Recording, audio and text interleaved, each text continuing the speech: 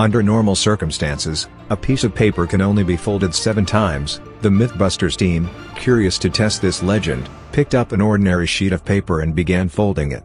By the seventh fold, it had become as small as a mobile phone and so thick that even turning it was nearly impossible. This time, they laid out a giant sheet of paper that covered a large portion of the room. They hoped that, due to its size, they might be able to fold it eight times. But by the third fold, they noticed that the paper was shrinking rapidly. On the seventh fold, it was already extremely difficult to bend, and for the eighth fold, they had to use a hammer to press it down. Build it themselves. At that moment, they realized they needed an even bigger piece of paper. If they had a sheet the size of a football field, they might succeed. But no one manufactured paper that large.